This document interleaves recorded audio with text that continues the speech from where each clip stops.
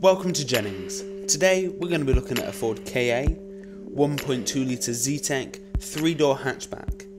This vehicle was first registered in February 2015 and has done 18,619 miles. It's a 1.2 litre petrol engine with manual transmission.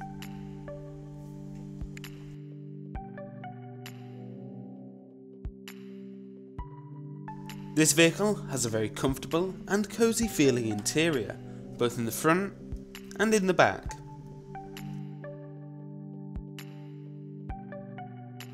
There is plenty of boot space available, enough for most people's needs.